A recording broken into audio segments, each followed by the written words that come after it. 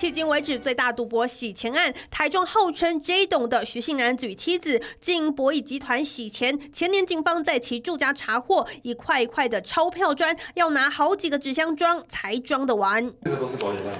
对，清点出七十七颗名贵包包，形成一座墙，市值就高达两千六百多万。以及停车场内有四部豪车，全是以非法金流购买取得。徐姓夫妻名下的两笔不动产均位在七期的金华区，售价分别为六千九百万元、四千八百万元，其中一栋就位在市政路上。检警清查博弈集团历年收注赌金达八千两百七十八亿，一年净利达一百七十亿元。公司负责人以这一栋。徐姓男子为首，妻子从旁协助，还有远在中国的不明人士出资。徐姓男子的姐姐在其中担任主管，管理客服人员；弟弟则同为主管，为博弈代工。底下还有组长黄姓范闲，集团成员高达五百多人，薪资均以虚拟货币泰达币发放。被告徐彦祥共同犯徒弟聚众赌博罪，处有期徒刑。一年八月，扣案位于台中市西屯区等不动产。案发现场居所扣得的现金